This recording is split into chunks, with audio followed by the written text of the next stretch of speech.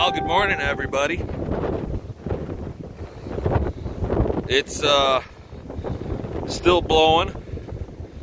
Look at the snow caked on the freaking house walls, even. It's still kind of snowing. There's Mocha Dogs. Uh, not overly cold. Like they, they said on my weather app that it's something like minus six today, but with this wind, minus 16. She's nasty out here still. God damn it. And it's supposed to be like this all freaking day. So, we got cow feeding to do. We got heifer feeding to do. And we got some more welding to do. Big day. Let's get at her. Talk to you guys later. Like, got a little red going here. But, see what I mean? Look up there. See how that driving wind just blows that snow? Big Blue's sitting in here and he's got a fucking snowbank sitting on him. Now here, let me shut the lights off in here for a minute. I just gonna show you guys something.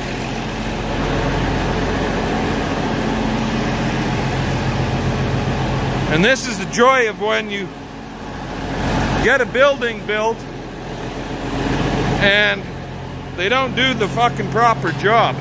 Now, that hole in the back wall is from a bullet. But, they ain't getting much for snow in through there. See that up there? See that light?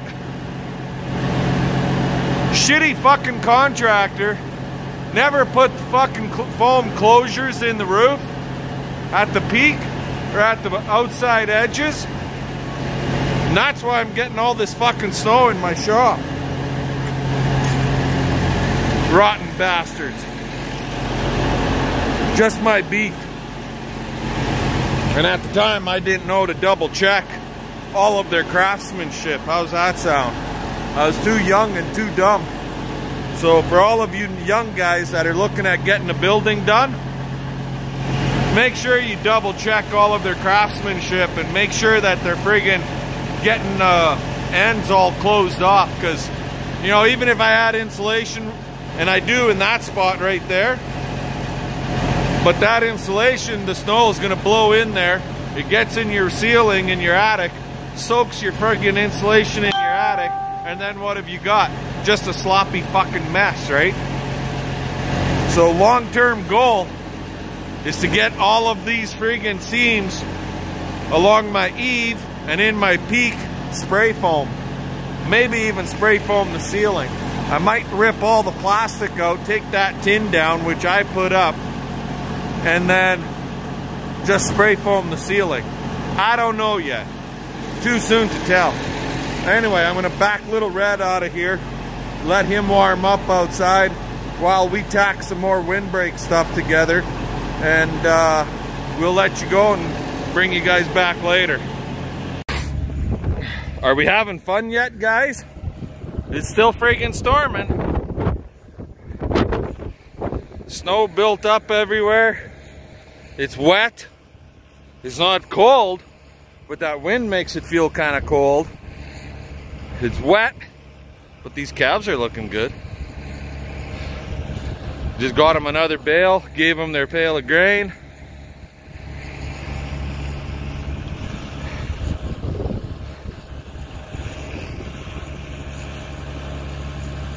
And Brutus is doing okay. He doesn't like walking in this mucky shit. Kind of frozen, kind of, kind of friggin' thawed out, somewhere in between.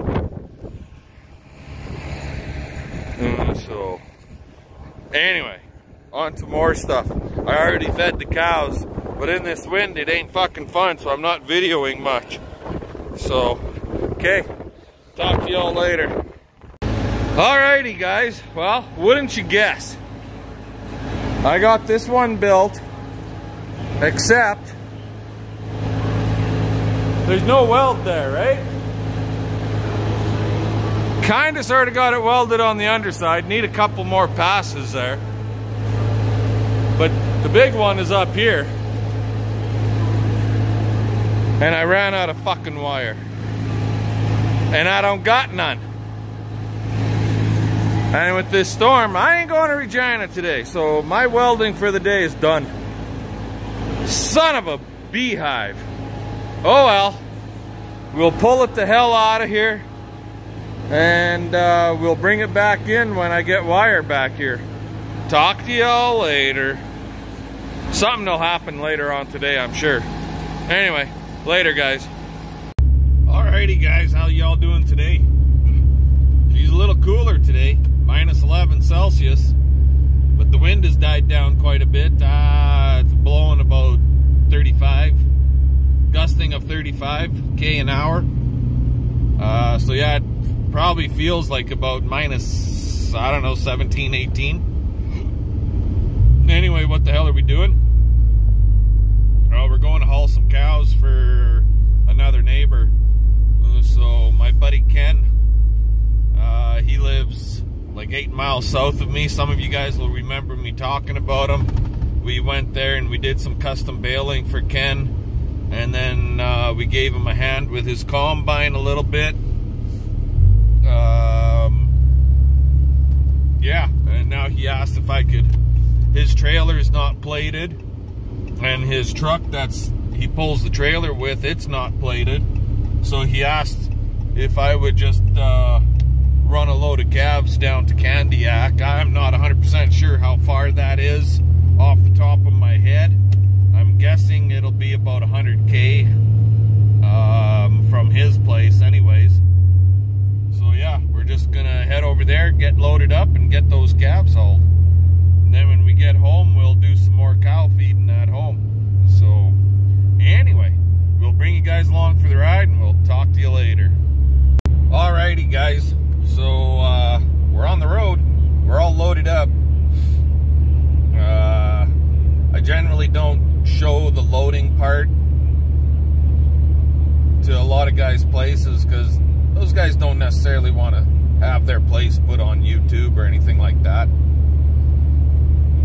So, but we got them all on. Uh, one was a little bit of an ornery little bastard and was doubling back on us constantly. So we ended up having to let a couple off and then push them all back on again. But uh, got it, got it done. We're on the road.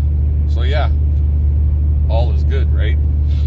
Um, Tristan picked up our welding wire and we got that windbreak uh, finished off. But Messer Group, Messer Weld Supply and Gas, or Messer Gas and Weld Supply, they're a division of Linde.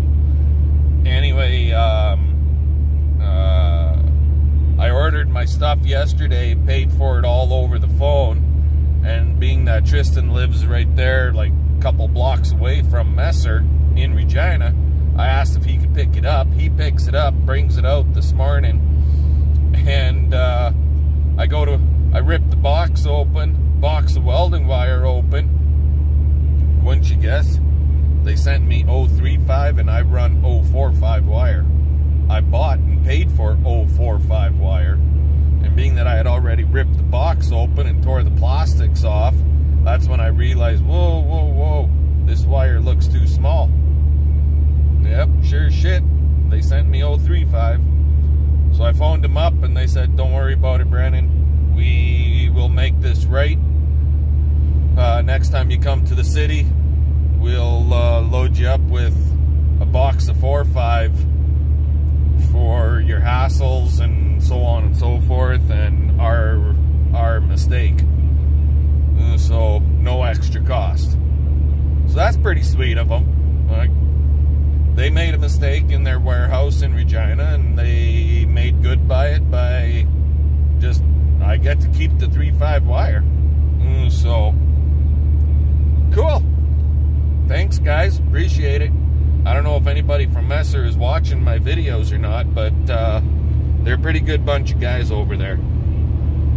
Anyway, we got about another 20 minutes or better of driving to do, so uh, I'll let you guys go and I'll bring you back when we get there, okay? Talk to you then. Alrighty, guys, well, we're just slowing down to pull into the Candiac Auction Mart here. They're right along the side of the highway, um, across across the highway from Candiac, actually. Mm, so we got 15 calves on board here, and uh, I'd say they're running right around that 650 weight.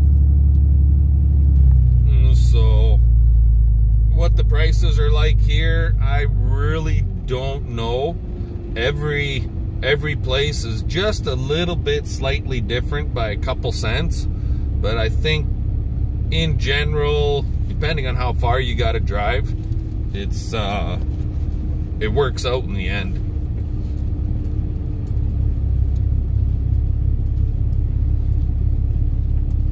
Again, it's just another drive-through area. You just kind of pull right through, close your gates up, and open your gate on your trailer to let them out.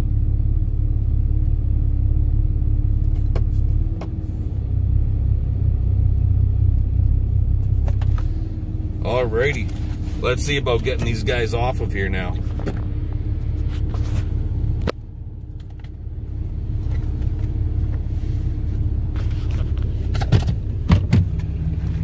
Oh, manifest.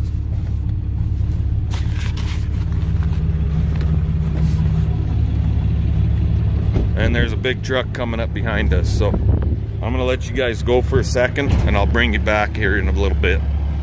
Alrighty, so that job's done. I don't know how many animals they're gonna get in here for their sales. There's that semi truck coming in with calves, I'm sure. And they're just checking the calves over that I just unloaded right there. Um, so yeah, it's, well, he might have some bigger animals in that trailer, some cows even. But anyway, our job is done. Let's get our butts home and get on to something that we need to get looked after at home. So talk to you guys when we get there.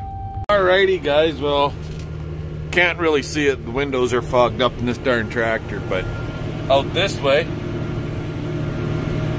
that's that field we were disking down and we fertilized over there. There ain't much snow cover on it. The wind blew all the friggin' snow that we did get out of there and piled it up somewhat around the corrals and then in the neighbor's bushes and some in my bushes and so on and so forth. I just got done unrolling a green feed barley bale and now I got two oat bales that I pulled the twine off of already. And we're gonna dump those in the feeders. And that way they're fed up for today and all day tomorrow. Um, and then Saturday I'll have to top them off again fill them up again. Uh, so yeah it's winter time it's feeding time. Gotta get used to this right? Oh my goodness don't ask me why I'm yawning. I have no idea. Maybe the fact of uh, waking up at 2 o'clock in the morning and not being able to sleep worth a damn and then going back to bed about 4 o'clock and sleeping for an hour and a half and back up at 5.30. Mm, so, and yes, CP is out in the pasture. She's out in the bush. She's at the blind. She is seeing stuff, but nothing that she considers a shooter yet. Uh, so, it's just the way she goes sometimes, right?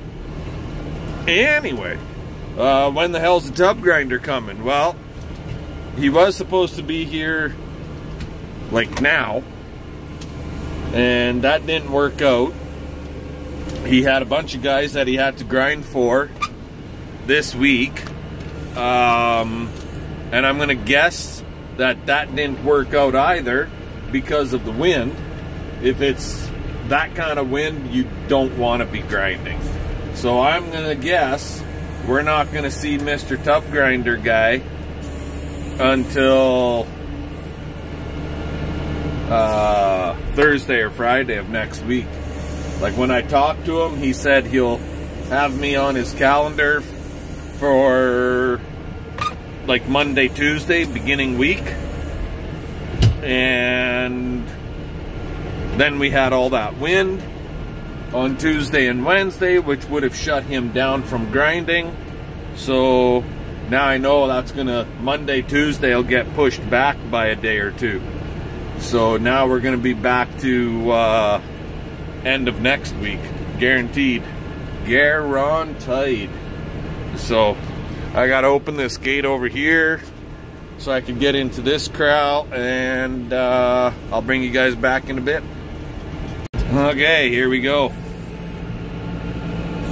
Uh, back you up a little bit there you might be able to see something a little better this way. Get in between these posts. So why the heck are all these posts here, right? Well, I'll tell you. From back this way, right there, and then all the way across down to the far side down there, the plan was to put fence line feed in here for feeding calves and cows and so on and so forth, feedlot style fence line feed for feeding them like cut feed and so on and so forth. Well, we never did get that done because then we quit buying calves. Mm, so, so yeah, that's why those posts are there. And who knows, like as time goes on, I may put uh, fence line feed in there yet. And is there water here? Actually, there is water. Uh, I don't have a water bowl set up, but there is a water line here. And uh, all I have to do for that water line, it's literally basically right where Mocha's standing. That's where the water line is. So, um, all I got to do is turn the valve on in the house, in the basement. That's where our water system is. And uh, then I'll have water in this corral. I contemplated putting one out here this year, but I wanted to do a like a tire tank water bowl type thing because I got the water line out here. I just have to do the tire tank thing but then I don't have no power out here, so we never did get power trenched out here yet. So that'll be, that's yet to come, you right? But, and there you can kind of see, there's the cows. So just outside of the corral there, 30 yards, 40 yards, that's where I uh, unrolled that green feed barley bale. Anyways, okay, let's get this other bale put in there and we'll talk to you guys in a little bit. Alrighty guys, how the hell y'all doing today?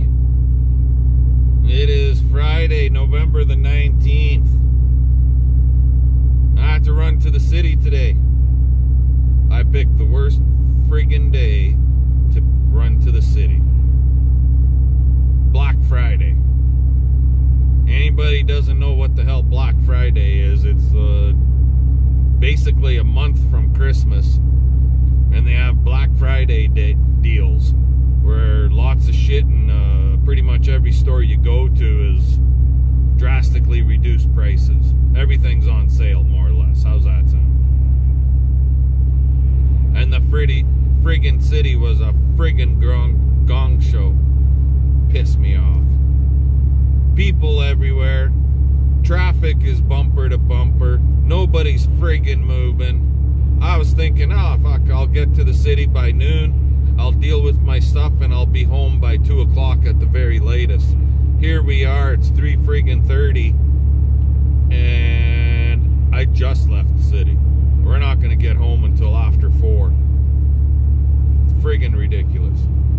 Anyway, guys. I know I got a lot of shit here over the next, the last couple days for y'all. Uh, more, more minutes than what's required. So, have fun out there. If you need to go to the city, don't do it on a Black Friday. It ain't worth. It ain't worth the hassle.